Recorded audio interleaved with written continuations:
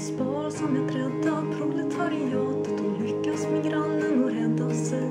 Han lever på gröt och på gamla potäter när han inte blir bjuden av sin tjej. Och hon sliter och sparar och allting ska räcka åt henne men också åt den hon är kär. För han fick sparken när fabriken